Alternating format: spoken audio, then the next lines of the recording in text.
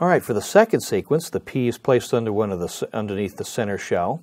We move one shell, uh, one shell here. We steal the pea. We bring the left one over, and then back, and we load the pea.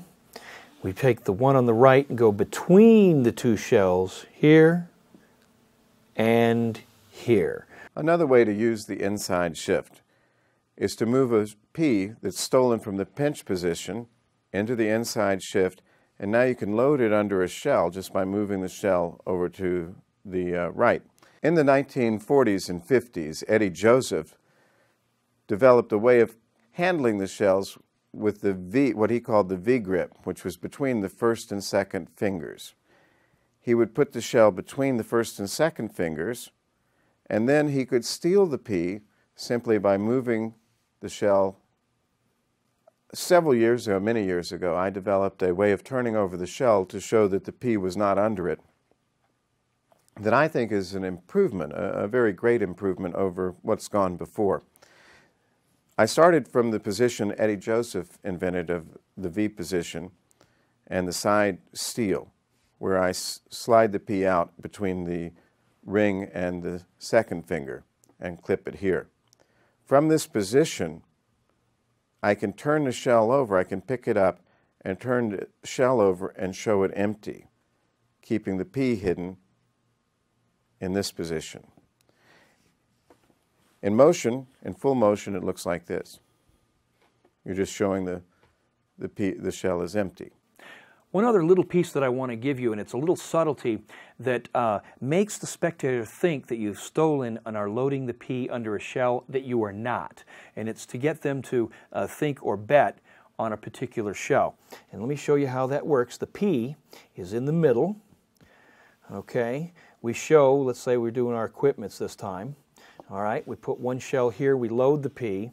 Now we put this one back and I want them to think it's this shell. As it comes over and I get to here, my second finger comes under and just gives a little bobble on the way by. It looks like this.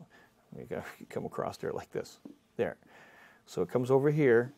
Sometimes when you're performing the shell game, you'll find that the people in the audience might be a little more informed about the game than you would like them to be. You may be working for other magicians or for, for people who have been watching the game a while and they've begun to pick up on the fact that the pea is actually moving out of the shell when it's pushed forward or being loaded into the shell when it's pulled back. These moves are called maneuvers. The simplest of the maneuvers is the hop. The hop and all the maneuvers enable you to both steal and load at the same time. Here's what happens. If I have a pea here and I move this shell around the other shell, in this kind of hop, I'm able to show the pea actually traveled exactly the way people would have expected. The pea stays under the shell. There's several different circular moves. One of them, maneuvers, goes like this and simply comes here. Now the pea is traveled. It looks like no matter how much I move the shell, the pea stays under it. Another maneuver that um, is one of my favorites is known as the heart.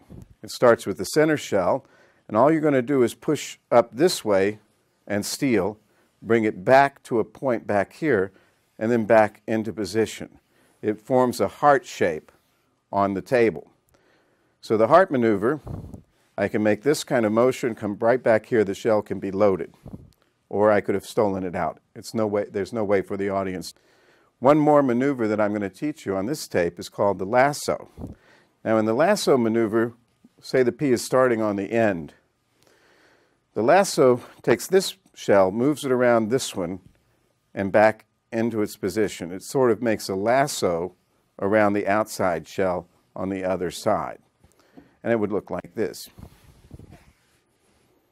Now, if you do that and the heart, the pea can be under any of the shells.